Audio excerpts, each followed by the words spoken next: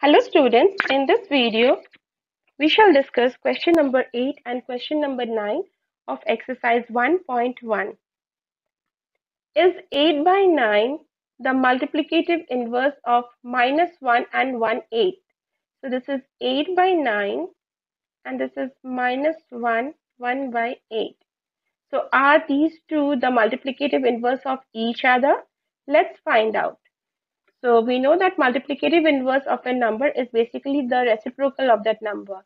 So if I find the reciprocal of 8 by 9, that would be 9 over 8, right? And let's find out for this one. First, we have to convert this into uh, improper fraction.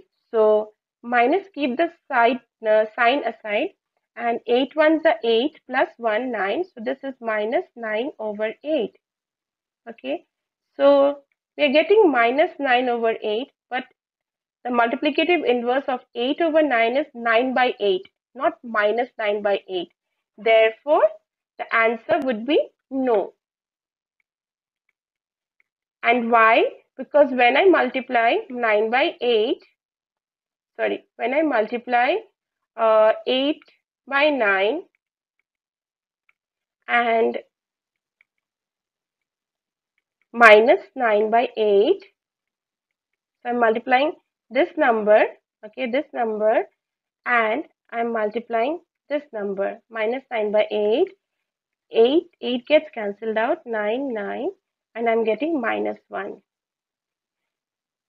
And the definition of multiplicative inverse says that when you multiply it by its uh, reciprocal, you should get a 1. We are getting minus 1. Therefore, 8 by 9 and minus 1 and 1 8 are not the multiplicative inverse of each other. Okay, moving on to the next question. Is 0 by 3 the multiplicative inverse of 3 1 third? So first what we will do is let's convert this into fractions. 0.3 can be written as 3 by 10 and 3 1 third can be written as 3 times 3 9 9 plus 1 10 10 by 3 okay. So yes 3 by 10 and 10 by 3 are multiplicative inverse of each other. And when we multiply these two let's see if we get a 1 10 and 10 gets cancelled out 3 and 3 gets cancelled out. So we get 1 so yes 0 0.3 and 3 and 1 third and multiplicative inverse of each other. I hope you have understood this concept. Thank you.